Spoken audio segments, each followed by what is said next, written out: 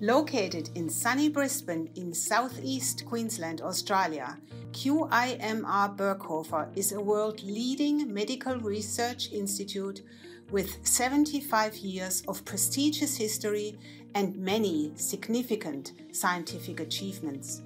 Since the 1940s, thousands of scientists, students, and support staff work here in the areas of cancer, mental health, chronic disorders, and infectious diseases. In the infectious diseases program, we aim to develop drugs, vaccines, and prevention and education strategies against diseases caused by parasites, bacteria, and viruses. My group focuses specifically on understanding the biology of the scabies parasite and on developing new diagnostics and treatments for scabies. To find out more, come see us in the laboratory.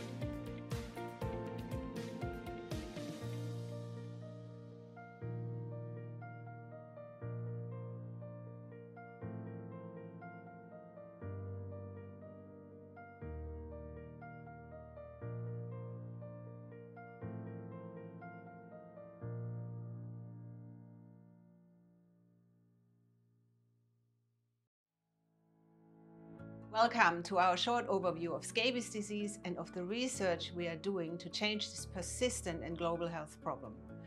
I'm Katja and I'm a molecular parasitologist researching scabies mite biology for the past 20 years. I lead a group of scientists who have one passion in common, to reduce the burden that this parasite causes worldwide. Why do we do this? Because scabies is a truly neglected infectious disease and really not enough research has been done to understand the parasite and to come up with solutions to the problems it causes. Before I get into this further, let's first meet the team. Hi, I'm Gangi. I'm a trained veterinarian from Sri Lanka. Currently, I'm a second year PhD student with the scabies team. Hi, I'm Sarah. I'm a research assistant in the scabies lab. I have a background in biomedical science and previous to this I trained as a microbiology scientist in a pathology lab.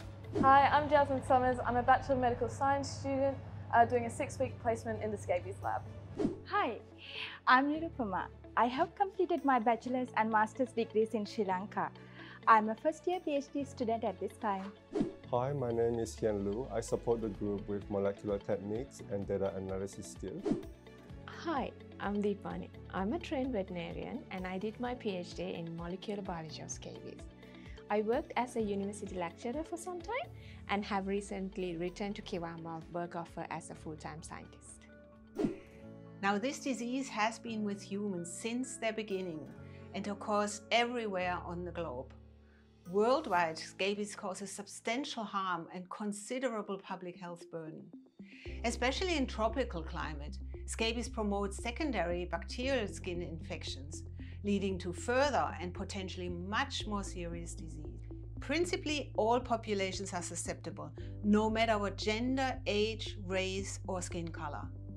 People with immature or poor immune systems, like young children, old people, or immunocompromised people, are more frequently affected by scabies. Because the disease is very contagious, overcrowded populations and those with suboptimal healthcare, which are mainly poor populations, have the highest scabies burden. So this is where we are. There is no vaccine, no easy to use diagnostic tools and very limited treatment options. In 2017, the WHO finally classified scabies as a neglected infectious disease. And it is a truly neglected global problem. Our team at the QIMR Berghofer Medical Research Institute is one of very few teams worldwide working out the pathobiology of this disease.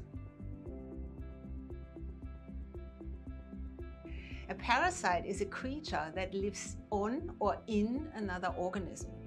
Parasites live at the expense of their hosts and often cause disease in these hosts. In the case of scabies, the parasitic scabies mite lives inside the skin of its human host, causes intense itching, makes lives unbearable, leads to secondary infections with bacteria, and these can cause severe disease. So when you catch scabies, these tiny microscopic parasitic mites called Sarcoptes scabiei set up shop in outer layers of your skin. Here they reside throughout their entire lifetime.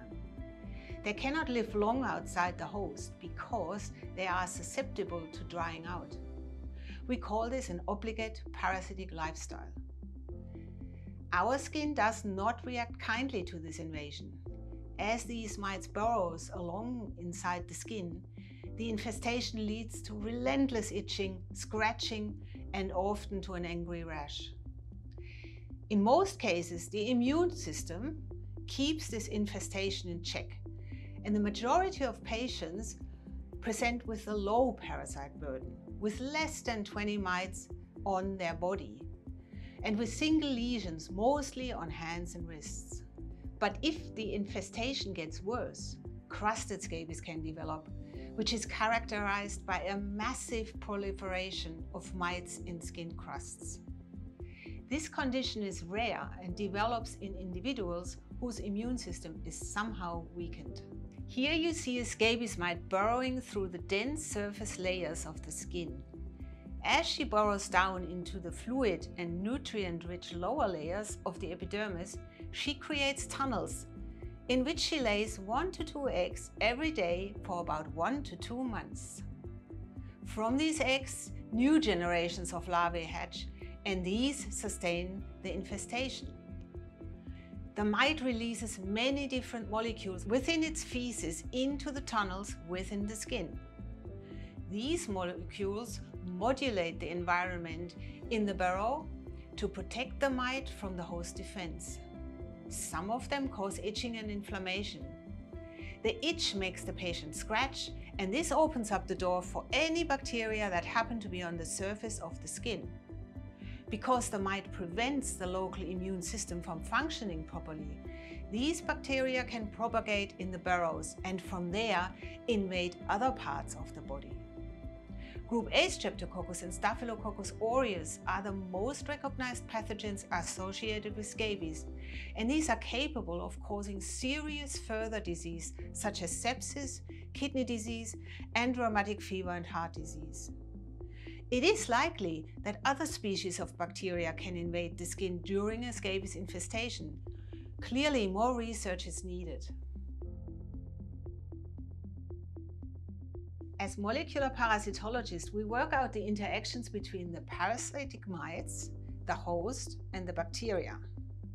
We are looking on DNA, RNA, and protein levels to understand what is going on during an infestation. We want to follow the biochemical pathways and the mechanisms that enable these parasites to survive, to proliferate, and to interfere with the health of their host. Research on scabies parasites is challenging because the entire life cycle of the scabies parasite takes place inside the host. The female mite lays her eggs into the epidermis. From the eggs, the larvae hatch. These develop into nymphs and then into adults, which mate and produce more offspring. All of this requires the moist and nutritious skin environment. The mites cannot survive outside the skin very long. Because it is very difficult to mimic the skin in a test tube, we have no laboratory mite culture, meaning we rely entirely on sampling from patients. Another problem, these parasites are very small. How small, you may ask? Well, if you compare them to an Australian 10 cent coin, and you know the mite is there, you may just be able to see them with your bare eyes. With only a few hundred cells per mite, we need a large number of parasites for a lot of the research that we are doing. However, as you have heard earlier, most patients carry only very few parasites. Therefore, for some of the research, we need to wait for samples from the relative rare but extreme form of disease we call crusted scabies. And a small sample from the skin sheddings from a patient with this condition yields thousands and thousands of mites, a jackpot for molecular scabies research. Medical research should be led by necessity, and therefore three related scabies issues dictate what research we aim to do. One, scabies is not easy to recognize in the clinic. we need reliable diagnostic tools that allow medical workers and doctors to easily distinguish scabies from many other skin conditions that cause itching. So this is important because if you treat non-scabies skin disease with anti-scabies medication, you will achieve nothing but aggravation of that condition. And vice versa, if you treat scabies patients with an unsuited treatment, for example, if you use a steroid cream to leave, relieve the itch, then the infestation will take off, it will thrive in the patient, and possible close contacts of that patient will also become infected. So, it is really essential that we come up with an easy and reliable test for scabies. Second, we have no vaccine and only very few treatments, and these treatments do not kill all life stages of this parasite. Therefore, our team is focusing on the development of new drugs for treating scabies. And third, scabies can cause secondary infections with dangerous bacteria. These are actually the real threat of the scabies disease, and they can cause serious, long-term, life-threatening health issues such as heart and kidney disease. However, the relationship between the mites and the bacteria is neither recognized nor understood, and therefore we are researching the microbes that come with the mites.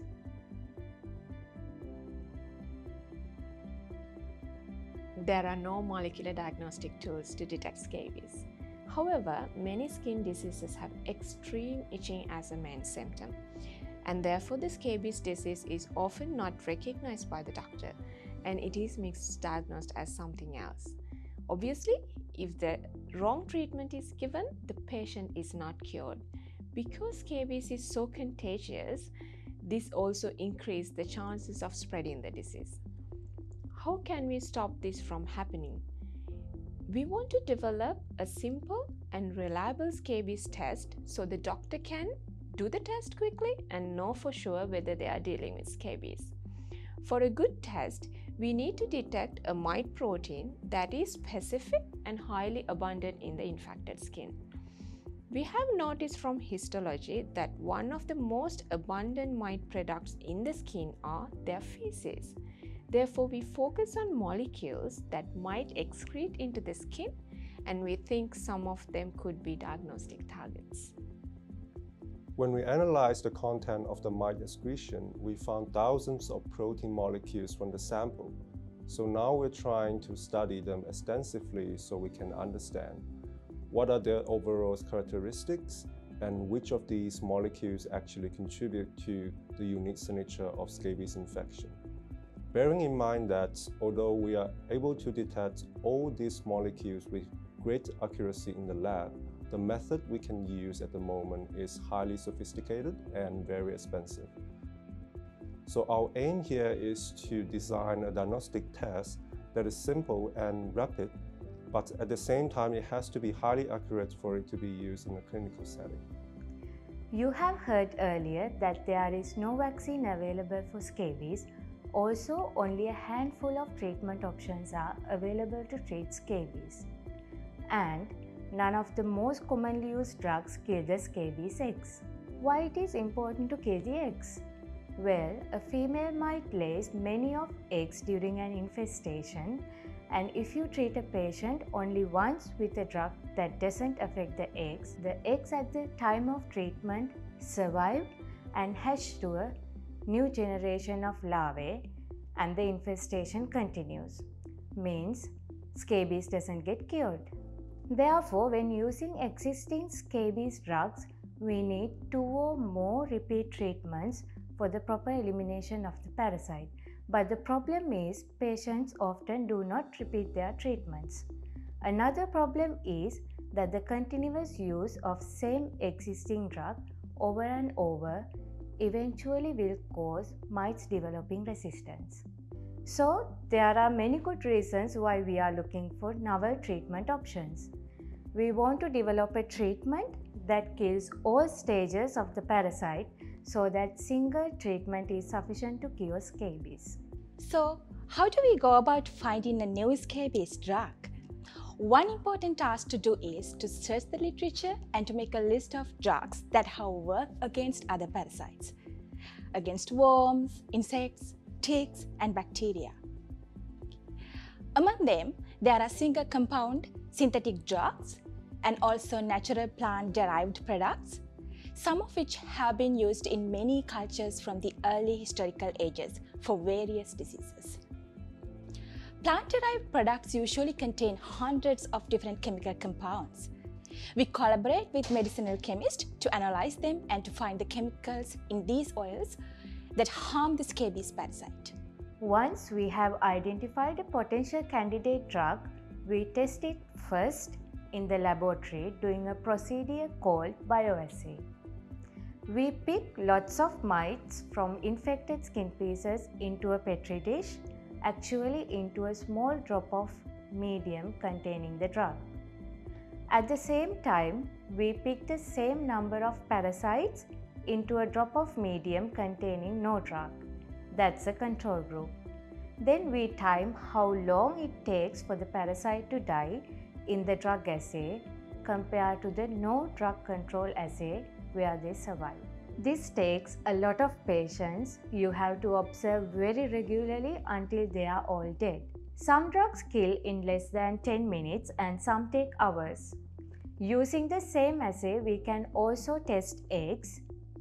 Again, we expose them to drug in a drop of medium and have no drug control group.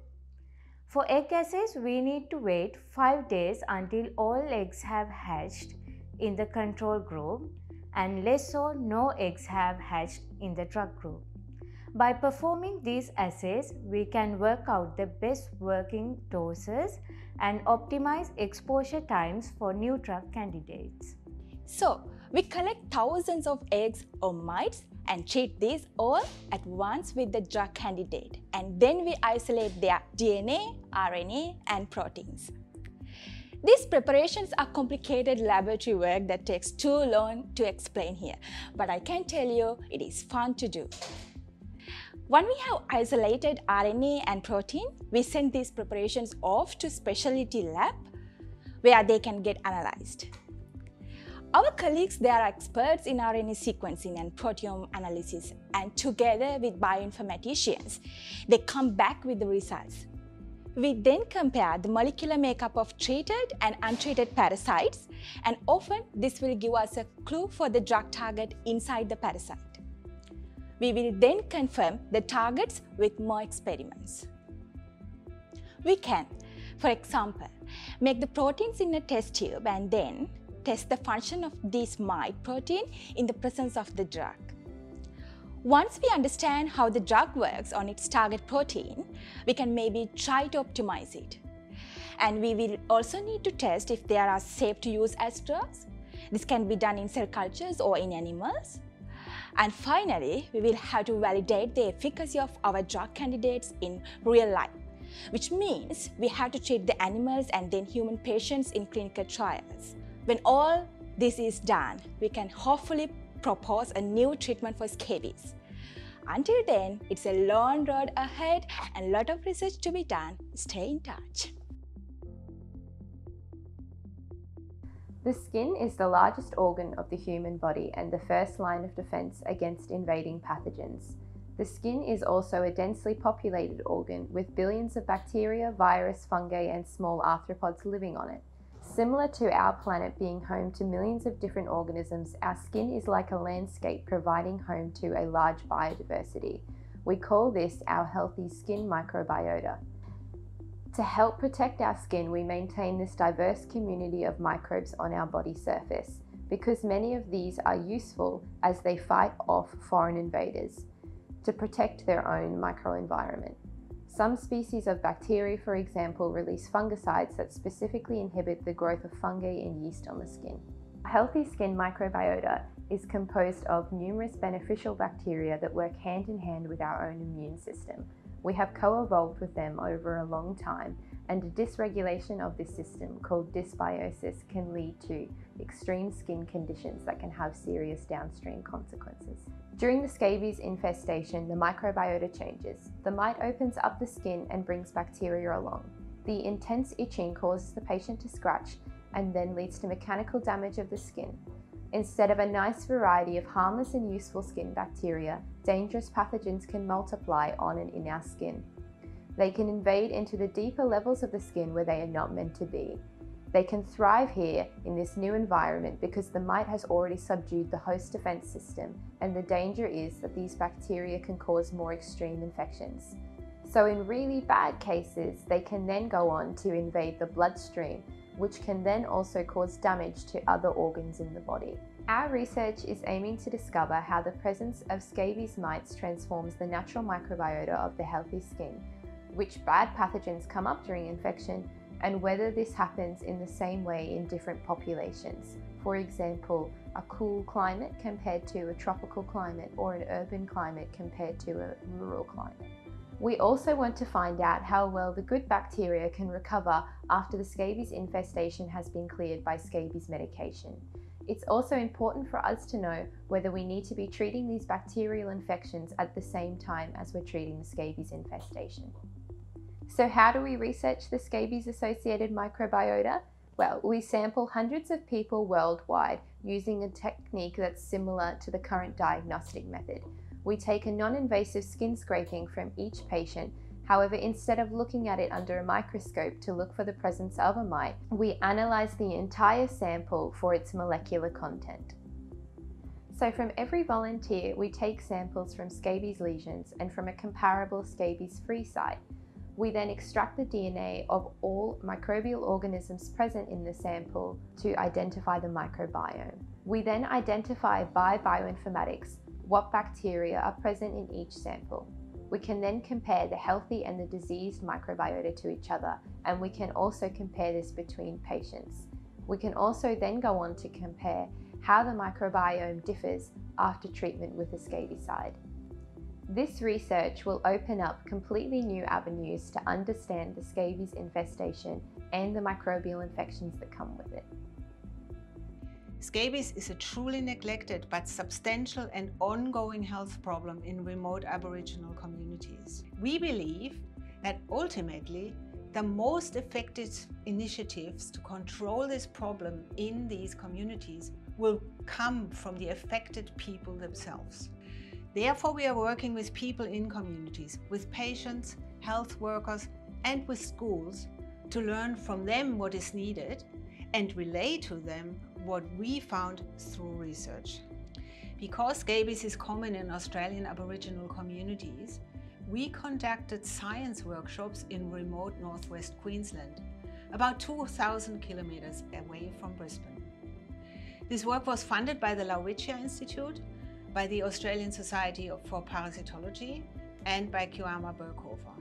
So, we packed up our gear and we went on a long road trip through the outback. We had a lot of fun doing that. We did a series of workshops at remote schools, mostly for grade 10 to 12 students. We gave lectures and we turned the classrooms into makeshift laboratories where the students were able to perform hands-on experiments. We covered microscopy, basic microbiology, and basic molecular biology. We had group discussions about health and careers in health and science, and we had a lot of fun. And later on in the year, selected students came for a one-week laboratory work experience at QIMR Berghofer. In doing this outreach, we hope to raise local awareness about skin health. It is also a great opportunity for us to connect with the remote communities to promote health education and to advertise among the young people for career pathways in health and science. Our recent travels to Indigenous communities in North Queensland highlighted an important question. How do you go about eliminating scabies mites from clothes, bed linen, pillows, and other textiles, and day to day personal belongings? This led us to produce an important set of experimental data. We teamed up with Orange Sky Australia, which is a Brisbane based non profit organization providing access to washing machines and showers for people in need. They collaborated with us to determine the conditions that eliminate mites in laundry. We tested 5,500 mites and 2,300 eggs in 89 different washing and drying conditions. We did this in vitro in the laboratory and also under real life conditions using washing machines and other equipments. Well, this is what we found. Heat kills the pest. If you have a washing machine, with hot water access, wash the contaminated items at a minimum of 50 degrees Celsius for at least 10 minutes. If you have a dryer, you can run them through a hot cycle instead. Freezing is another option. If you don't have a washing machine but you have a freezer, you can freeze the contaminated item at negative 10 degrees Celsius for 5 hours. If you have no white goods and no electricity, you can put your belongings in a plastic bag and wait. Well, scabies mites like warm and humid. So depending on your local climate, you need to wait between 2 to 8 days before you can be sure that they are dead. Then you can safely use your belongings again. So I hope we have answered some of your questions regarding scabies and we do appreciate your interest. We hope you can see that a lot of work goes into solving this problem. One of the first steps of solving this problem is raising awareness for this disease. Thank you very much for watching.